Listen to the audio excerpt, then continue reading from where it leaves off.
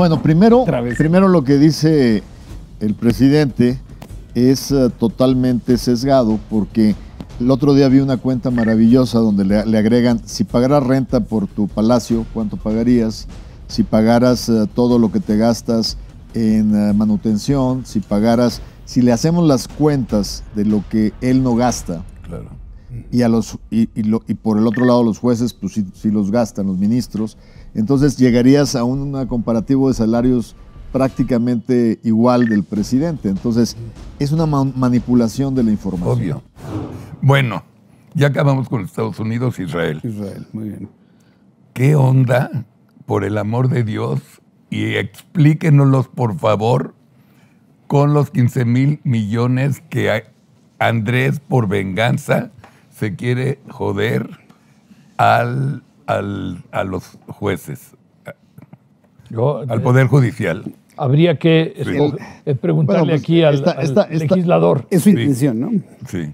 Es, está, lo tienes perfectamente etiquetado, es una agresión más al Poder Judicial, porque ese fideicomiso es parte del respaldo para todo lo que es el fondo de pensiones, que pues los mexicanos que trabajamos, pues tenemos derecho a construir eh, cierta certidumbre sobre nuestros retiros, etcétera. Entonces, hay, hay una acumulación de agresiones que han sido cotidianas y esto pues no es más que una piedra más en ese, en ese camino.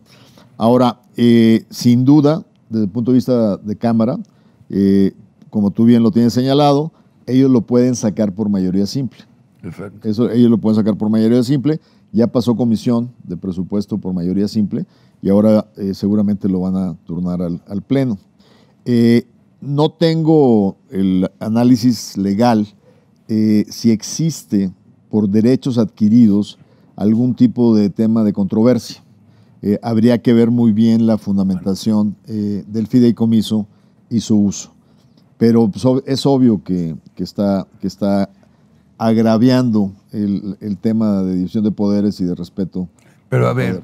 Pero además, esto van a tardar cinco minutos los jueces, los diferentes niveles de jueces, hasta, a lo mejor se lleva hasta la Suprema Corte de Justicia, en declarar que es ilegal la medida que pretende tomar la mayoría. Eh, esta es la pregunta. O sea, es decir, no va, no va a llegar a ninguna parte, a porque son derechos adquiridos y son, es propiedad privada de de los, un poder independiente. De, de, de, pero no solo eso, no, no es solo de un poder bueno independiente, no de individuos. no solo eso, de individuos. Sí, esa es la parte, esa es la parte que hay que fundamentar esa y fortalecer. Es la parte, esa es la parte de los, de los este, planes de retiro. De, de, los planes de retiro. Es tu ahorro, el que tú has hecho claro. a lo largo de los años. Ya. Juanito, ¿qué a tus órdenes? AMLO habla sobre el recorte al Poder Judicial. Ahorita bueno. lo. Bueno, si quieren, pásenlo y seguimos con el tema. Sí, claro. Y están también eh, desinformando, hablando de que se van a quedar los trabajadores del Poder Judicial sin sus prestaciones. No. Si el Poder Legislativo eh, suspende cancela esos fideicomisos, no se afecta en nada a los trabajadores. Eso también para que lo conozcan todos los trabajadores del Poder Judicial. Son los privilegios de los de arriba, que un ministro en México eh, gana hasta 700 mil pesos mensuales si se suma todo lo que obtienen con prestaciones, como cuatro o cinco veces más de lo que yo percibo. Bueno, primero, primero lo que dice el presidente es uh, totalmente sesgado porque el otro día vi una cuenta maravillosa donde le, le, agregan, si pagaras renta por tu palacio, ¿cuánto pagarías? Si pagaras uh, todo lo que te gastas en uh, manutención, si pagaras, si le hacemos las cuentas de lo que él no gasta, claro. y, a los, y, y, lo, y, por el otro lado los jueces, pues sí, los gastan, los ministros, entonces llegarías a un comparativo de salarios prácticamente igual del presidente. Entonces, es una ma- manipulación de la información. Obvio, Es una manipulación de la información. Y además, eh, eh, eh, eh, esto es lo que él quiere. Probablemente, y si José Ángel tiene razón, se vaya una controversia y resulte en que no lo van a poder hacer. Pero lo que él quiere es meterle lumbre al debate y estarle diciendo a la gente que gana eh, 8 mil pesos mensuales o 10 mil pesos mensuales, decirle, mira, estos tales por cuales se pagan salarios increíbles y, predisponer a la población, al electorado, en contra de un poder independiente. Entonces, este es el juego que se ha jugado lamentable para poder eh, tomar un control autoritario y atacar el equilibrio y los balances de, de poderes autónomos e independientes. Yo coincido contigo. ¿Tú quieres decir algo, Jesús?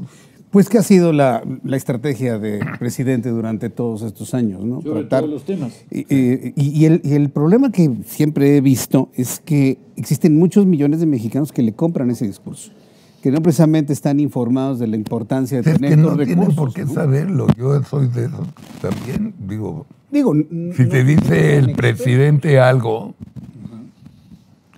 tú no sabes, dices, ah, no, tiene razón el presidente, ¿por qué lo dudas?